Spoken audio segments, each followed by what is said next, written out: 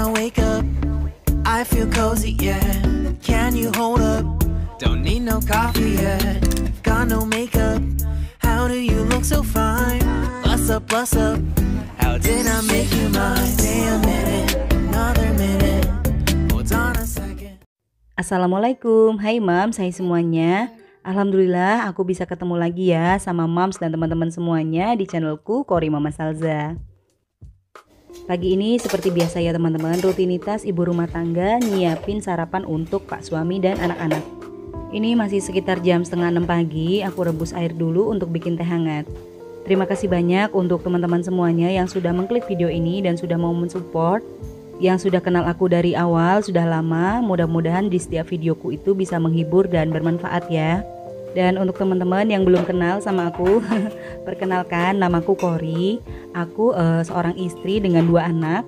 Dan alhamdulillah nanti mau nambah satu lagi anaknya sebentar lagi lahir nanti uh, HPL-nya awal Oktober insya Allah doakan ya teman-teman semoga nanti persalinannya lancar dan semuanya sehat. Amin.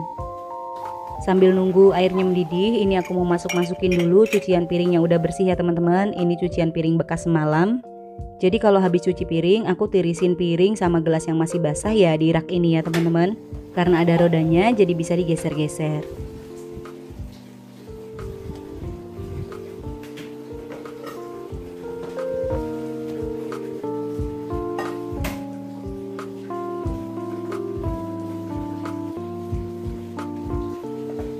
Terus lanjut aku mau masak nasi dulu ya.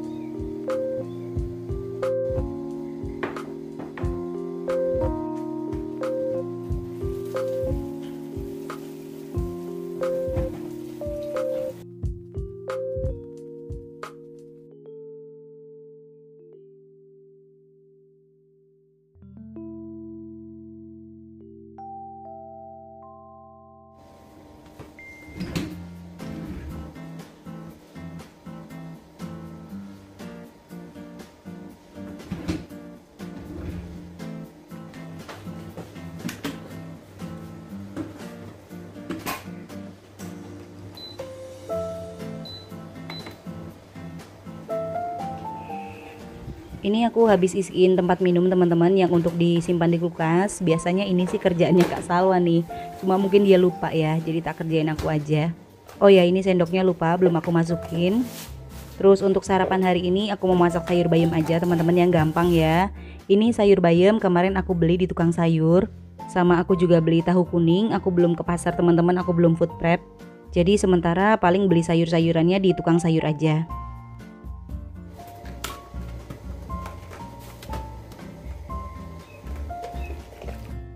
Untuk tahu kuningnya nanti mau aku goreng biasa aja ya teman-teman. Ini aku cuci dulu.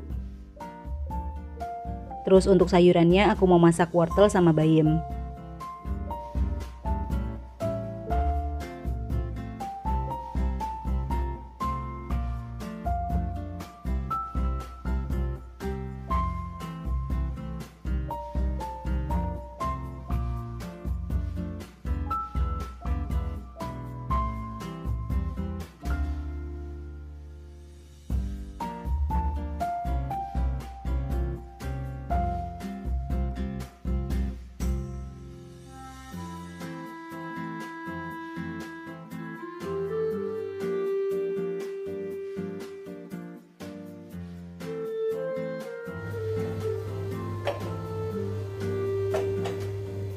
Langsung ya teman-teman, gercep aja. Ini aku siapin air untuk masak sayur bayamnya.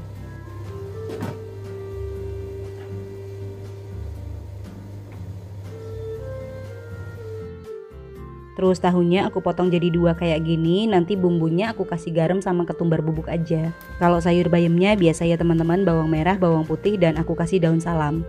Aku kalau masak sayur bayam biasa aku kasih daun salam ya teman-teman. Kalau teman-teman gimana? Suka nggak?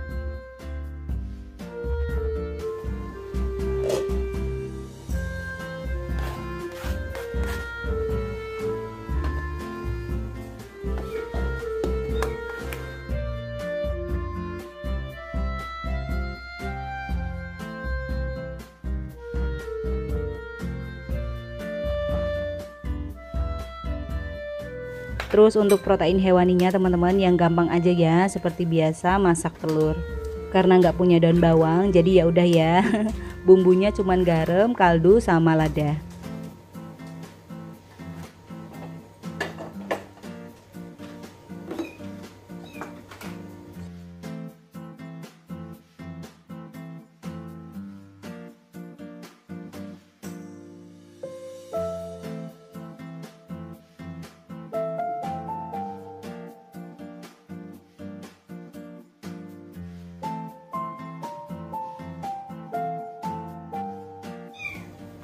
Oke teman-teman, aku lanjutin masak dulu ya.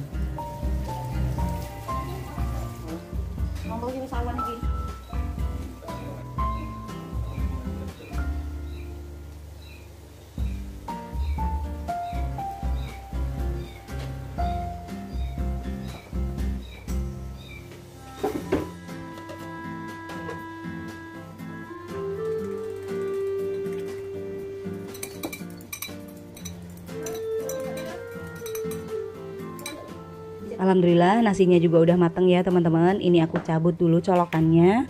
Aku aduk-aduk dulu nasinya terus nggak aku langsung tutup lagi. Tujuannya biar nasinya tuh nggak gampang basi. Jadi habis diaduk-aduk kayak gini diangin-anginin aja gitu ya sebentar.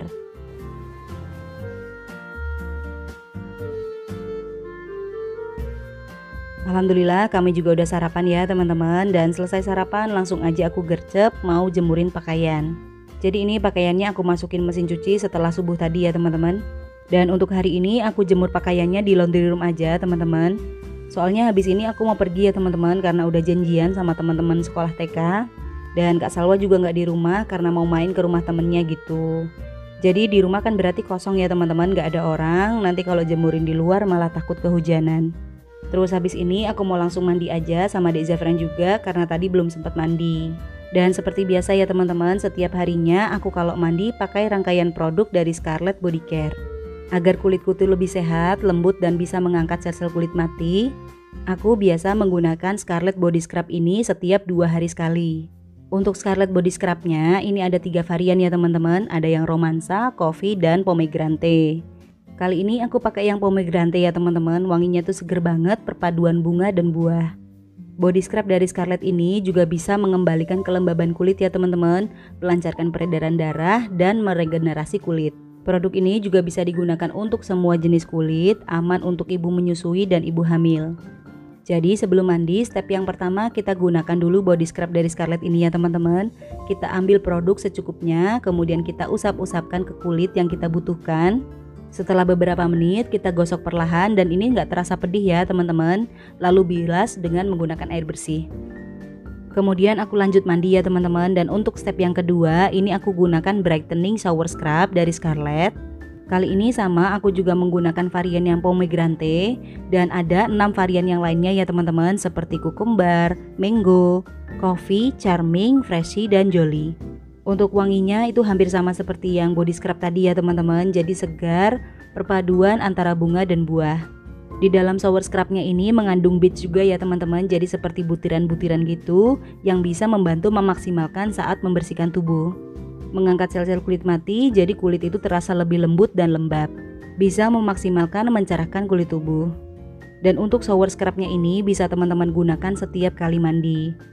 Kemudian setelah mandi, aku lanjut menggunakan fragrance brightening body lotion dari Scarlett juga. Jadi ini step yang ketiga ya teman-teman, step yang terakhir.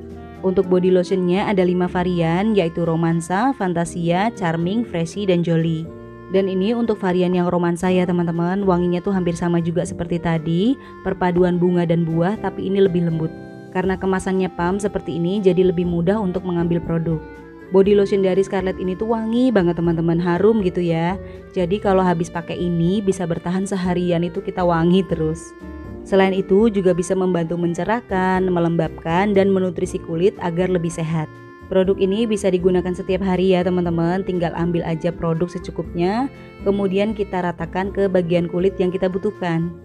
Dan untuk semua produk dari Scarlett ini teman-teman bisa beli di Shopee, linknya sudah aku tuliskan di deskripsi. Atau teman-teman juga bisa follow Instagramnya at scarlett underscore whitening. Produknya aman digunakan untuk ibu hamil dan menyusui. Rata-rata harga produknya ini Rp75.000 ya.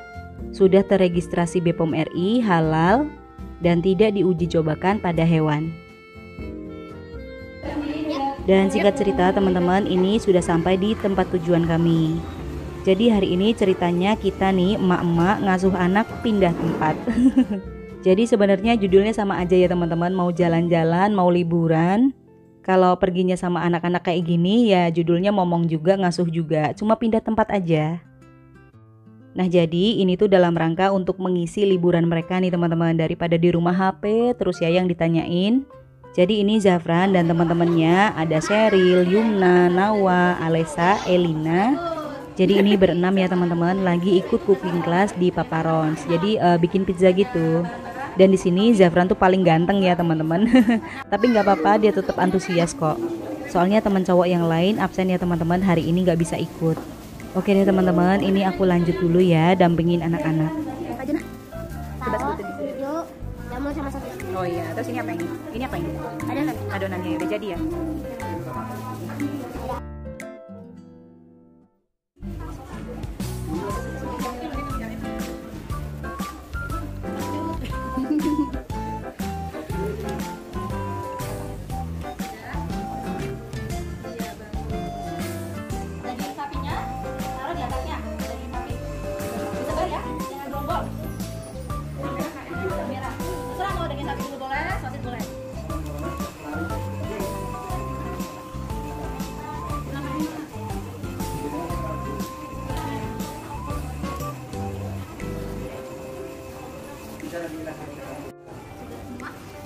Coba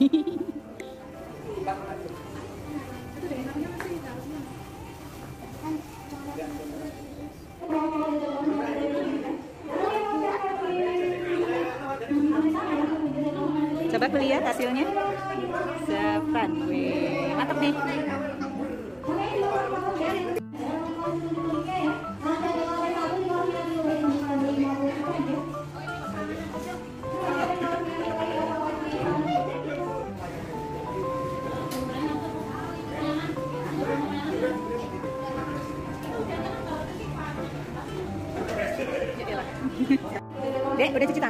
Udah ada bersih?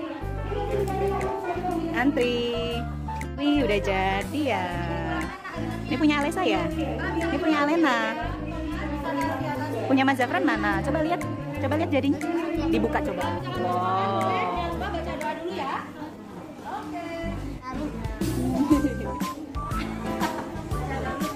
panas ya sih? Masih panas kan? Nah ini pizzanya udah jadi ya teman-teman, udah matang buatan anak-anak.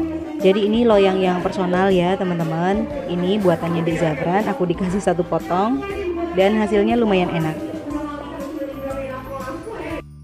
Terus setelah makan nih teman-teman, nggak afdol rasanya ya kalau kita nggak keliling mall dulu. Jadi ini kita lanjut main ya teman-teman di lantai paling atas lantai 3 Mas Zafran mau ke mana? Mau ini. Jadi ini anak-anak mau main dulu di playground ya teman-teman. Di sini juga ada permainan untuk anak-anak. Dan sebelum masuk di playgroundnya, sendal dan sepatu harus dilepas dulu dan harus pakai kaos kaki. Pokoknya biarkan anak-anak main dulu ya teman-teman untuk ngisi waktu liburan dan tadi juga ada sedikit edukasi ya waktu cooking class. Terus ini anak-anak tuh udah puas ya main-main di playground dan kita pindah tempat ke sebelahnya ke permainan anak-anak.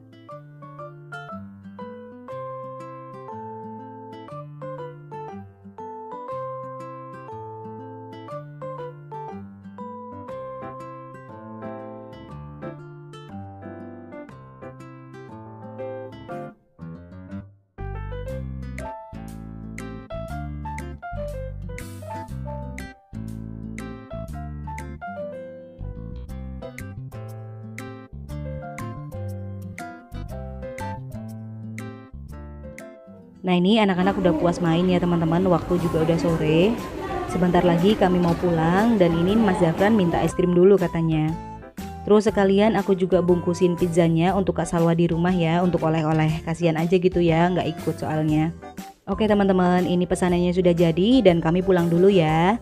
Sampai ketemu lagi di video selanjutnya. Mohon maaf bila ada salah-salah kata. Assalamualaikum warahmatullahi wabarakatuh.